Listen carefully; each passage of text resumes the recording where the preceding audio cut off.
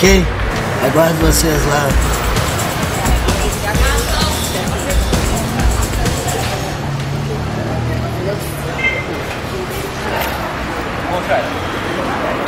Bom dia pra você. Bom, graças a Deus.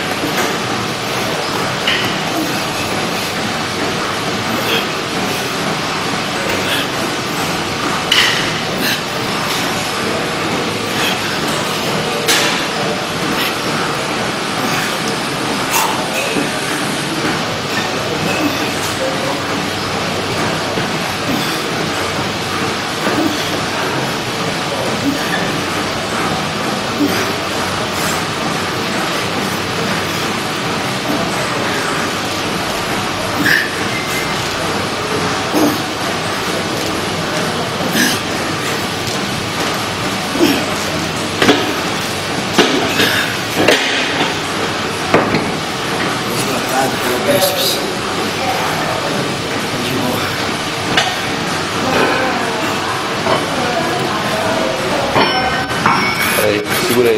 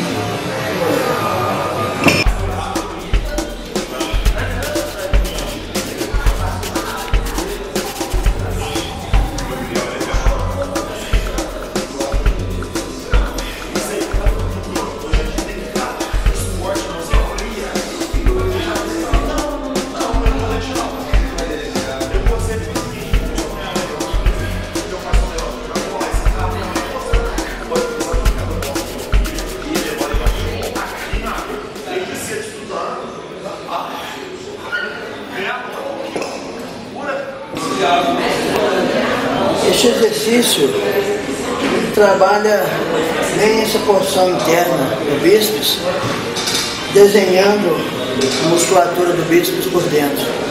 É um excelente exercício para esse trabalho.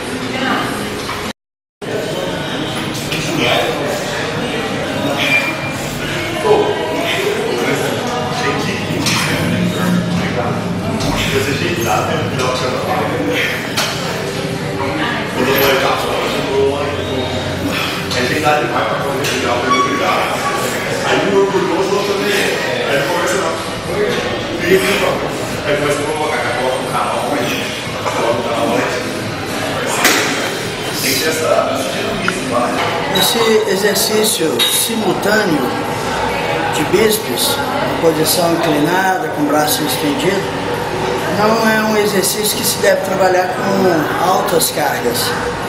Até mesmo porque você trabalha o bíceps em hiperextensão, então é um movimento que você corre o risco de ter lesões, rompimento. Então, na verdade, você deve estimular a musculatura, a amplitude que você que permite a sua angulação de trabalho, porém sem utilizar cargas muito intensas, muito grandes.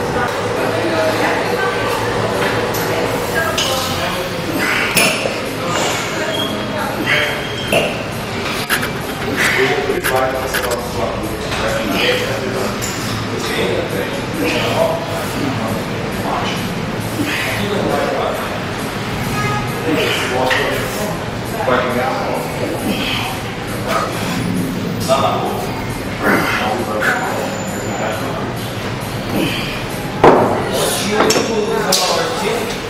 O aspecto visual, que às vezes faz ele ganhar, às vezes, de atletas, às vezes, muito maior do que ele por esse detalhe, desses detalhes. Então, assim, isso é uma coisa que eu procuro trabalhar bem, né? E não só ficar volumoso, volumoso. O aspecto, o, o objetivo não é ficar só grande, é tentar demonstrar o máximo de músculo possível. Né? Fala sobre. É, é, é detalhe, bíceps, definições internas, trabalho de bíceps, isso gera um impacto visual muito grande para quem está se observando. Ah, quando você está puxando bíceps de costas, o detalhe do braquial, juntamente com a cabeça é, longa e curta do bíceps também, isso é, soma muito o resultado no aspecto visual. Então são detalhes que devem ser considerados.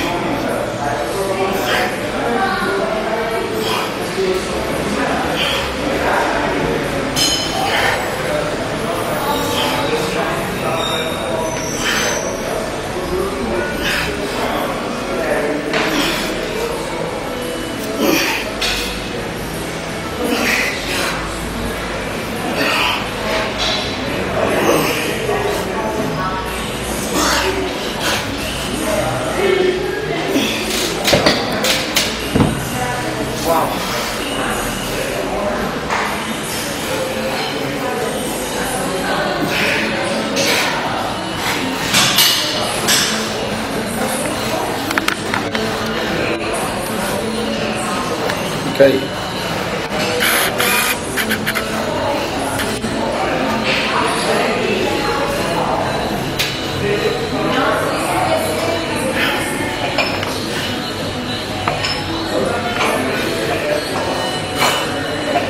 É, eu sou um atleta que não, não é muito metódico em, em ficar calculando intervalo, calculando o que fazer, o tempo que dura o treino, o que comer, me, é, pesar alimento. Eu nunca fiz isso, eu nunca pesei nada. Eu sempre já sei o que, o que, o que fazer, o- a quantidade de comida que vai ser necessário para mim para me sustentar, que atende às necessidades biológicas, o tempo que o músculo necessita para descanso. Então assim, eu não uso ficar com o reloginho, medindo intervalo, essas coisas. Então assim, eu dei o meu tempo, senti que a musculatura recuperou.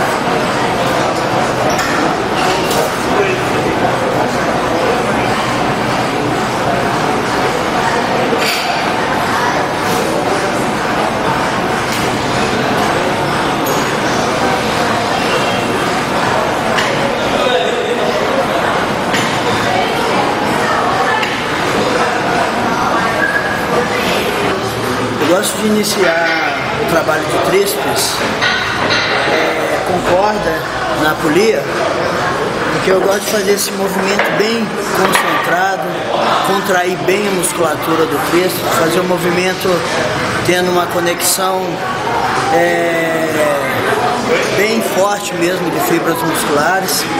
Então é um movimento que eu procuro não fazê-lo com o tríceps fadigado, para me poder realizá-lo ele 100% perfeito, como se deve ser.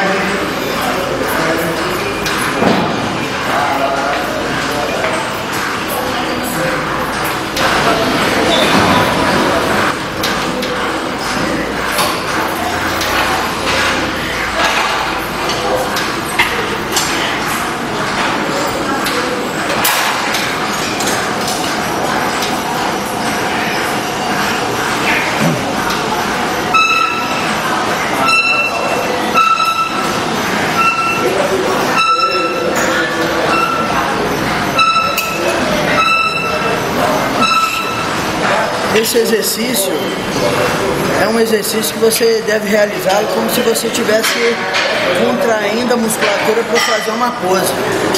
Então, é, no, o objetivo não é pôr muito peso e ficar bombando o movimento para baixo, e sim você conseguir capturar o máximo de fibra muscular para você realizar um bom trabalho no tríceps. Né?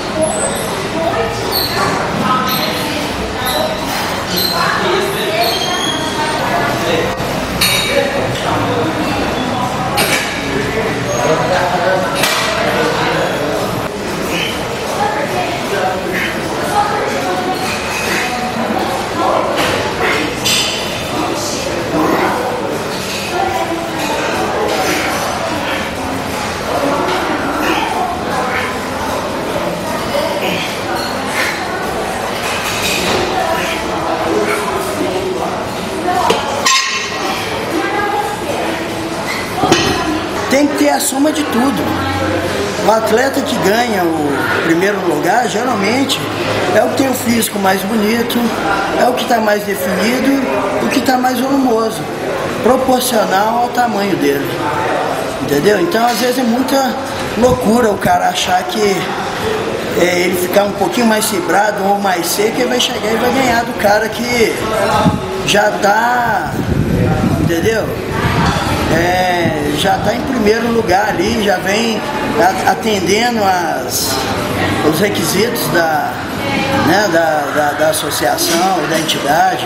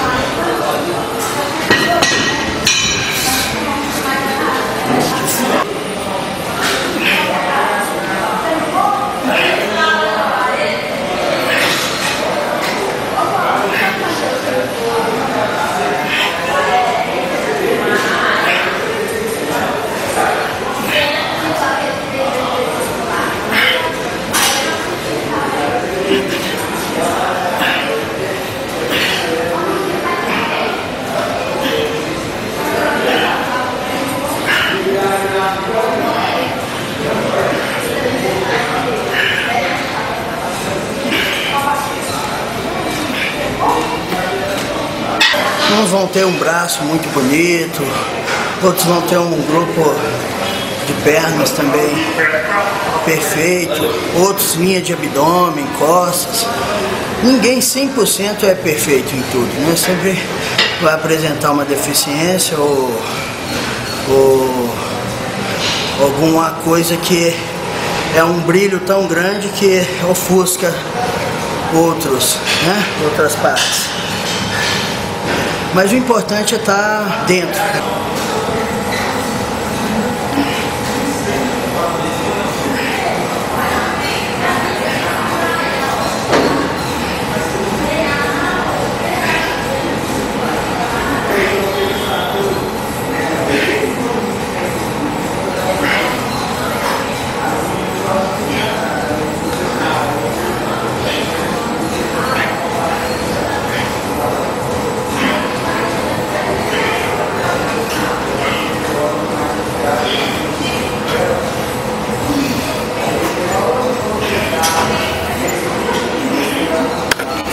faziam porque queriam ter um estilo diferente, queria ser diferente.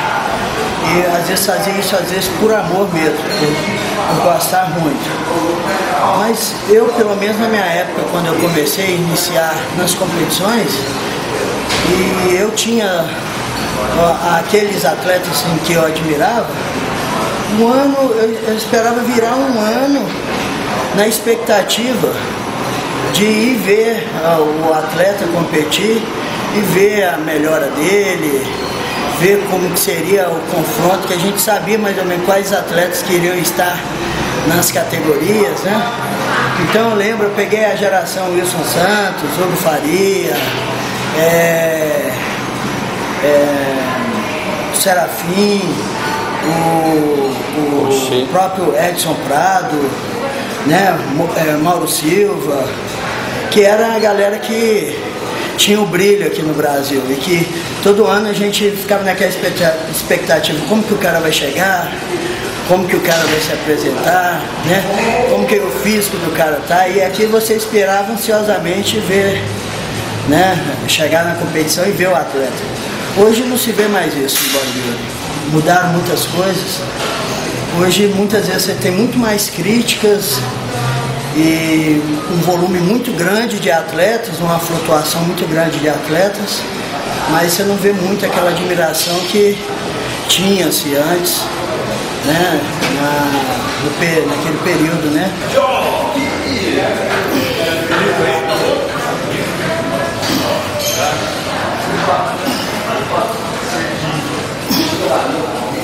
Você não viu ela, não?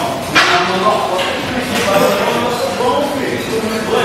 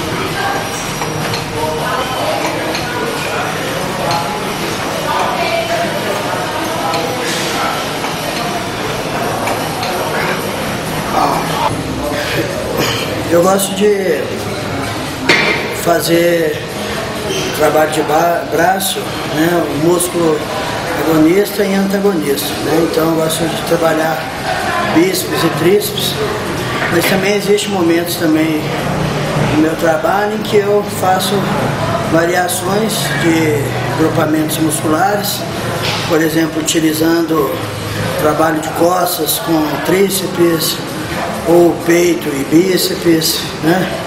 É, existe momentos também que eu estou trabalhando com pré-exaustão, trabalho também costas e bíceps, ou peito e tríceps, que normalmente são o que as pessoas fazem.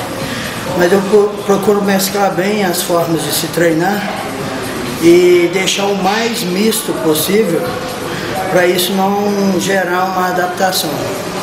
Então eu sempre estou modificando o treino. Eu nunca faço o mesmo treino é, todas as vezes. Então, às vezes hoje eu estou trabalhando determinado exercício, pode ser que no próximo treino eu utilize o mesmo grupo muscular, porém variando a execução de movimento, né?